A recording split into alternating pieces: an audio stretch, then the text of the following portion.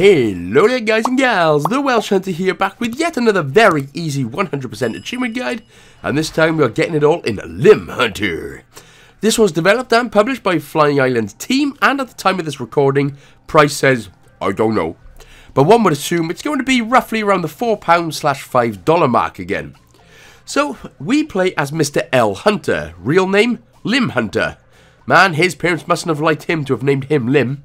Um, anyway, as it usually is, we have to save the world by gunning down enemies, etc. It's all... I mean, you've done this stuff before, although this genuinely did get rather addictive, if I'm honest. I actually did really enjoy this one.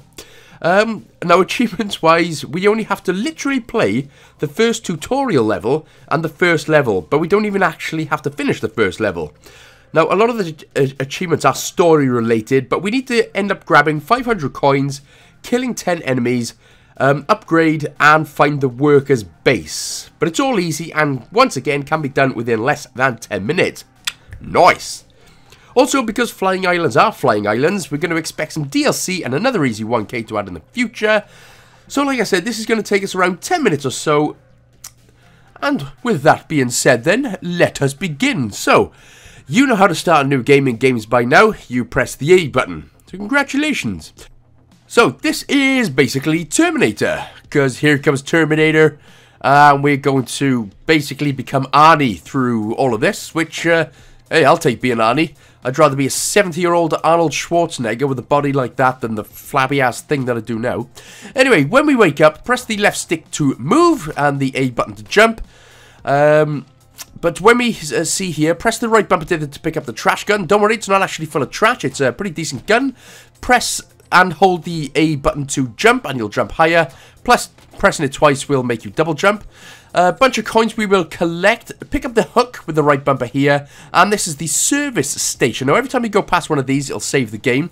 When you press the right bumper to go into it, as you can see, you can press the right bumper and left bumper to go and sort of collect upgrades and stuff. So what we're going to do is just unlock the first couples there. So the head on the left, then the torso. So you just press the A button twice First to unlock it, and then the next time to equip it. Then when you go over, do the same with the legs, and then do the same with the weapon. So the first four, you should be unlocking everything. And here, you can either choose the hook or the gun. Now, the hook just... Um, I mean, it's a hook. You hook the weapons. You hook, hook your hook at people. That's pretty much it. But we're going to go with the trash gun. Press um, up and down on the D-pad, by the way, to go places. Then, when you press the A button on the trash gun a couple of times, you can press the right trigger as many times as you want. Um, it's basically infinite ammo, but it does need a cooldown period. We're going to come up to our first enemy, the hook enemy. So as you see, as soon as there's an exclamation mark above the head, either jump up or move to the left slightly. Um, to avoid that, because those hooks hurt. You've got a HP counter in the bottom left-hand corner, by the way.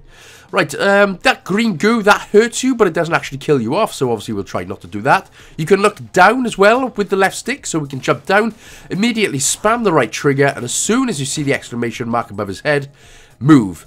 Now, sometimes now and again, they're going to drop new heads and new torsos and things like that. Uh, but we really only need it to buy one thing. So as you can see, I've got uh, enough coins actually to buy a loader head, which is what we need for another achievement. But we're not going to buy it just yet. We're just going to carry on. Again, this is all a completely linear path, so we have done the first tutorial level. Now we are into the next one. Uh, they're not enemies, so we can just ignore them.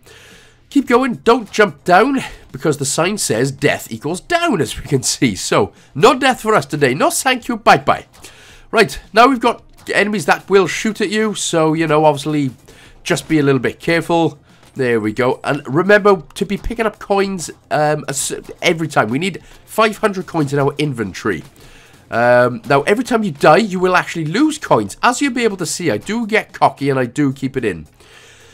Um, so what we can do, this bit's easy. Again, as soon as soon as you can jump down, just spam the right trigger. And you should have just enough in order to kill them before they kill you. So, and uh, we're going to get another achievement here. This is basically unmissable as well. Just press the right bumper on the treasure chest. That's going to get us the treasure achievement. Now we can just jump down. Spam, spam, spam. There you did.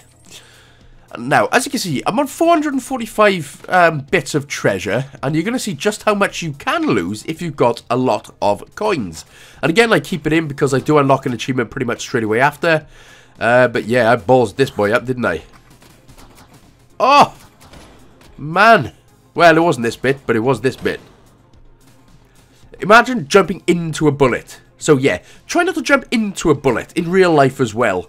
That shit hurts, man. That that hurts. right. So anyway, because I obviously died, as you can see, I'm already down. I lost over 200 coins there, which was a bit of a son of a biscuit, but there we go. Um, but again, it's fine. It's easy enough, and as you can see, as you can tell, um, I'm going to unlock achievement here for killing 10 enemies. So again, doesn't matter how much you die, you will keep your enemy kill count as well, which is always nice.